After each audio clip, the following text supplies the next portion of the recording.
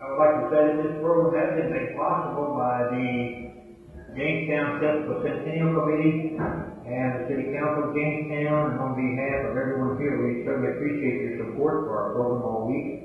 And we hope everybody's having a good time, and we'll move on to the program at this time.